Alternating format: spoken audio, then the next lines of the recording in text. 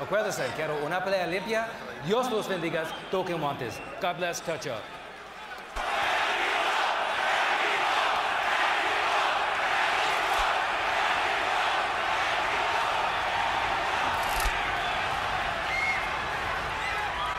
Donaire with the two-inch height advantage. Don't push it. Don't push it. Roy, is that a big factor here? Great boxing background. They've been in it since they were little kids, and this is sometimes what separates boxing from other uh, combat sports. And Montiel took a shot from Donaire. Wings a right hand, does Donaire. Good left hand by Donaire.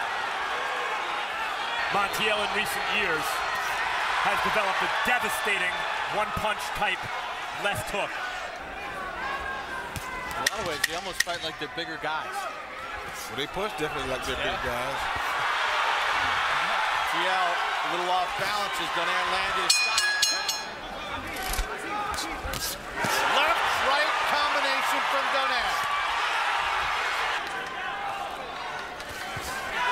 Left hand from Donaire.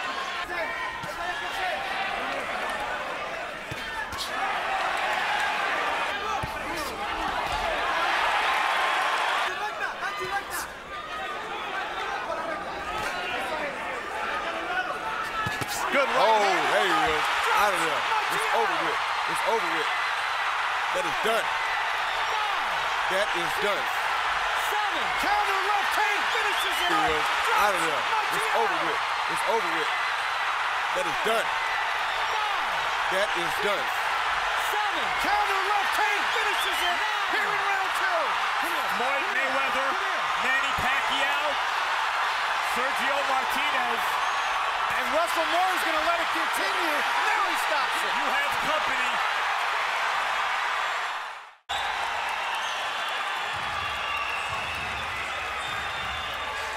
The first time I seen this kid box, I told him he was something special. He was my new top pound for pound fighter, and he proved tonight why I thought that. Yeah, Roy, you were talking him up all week.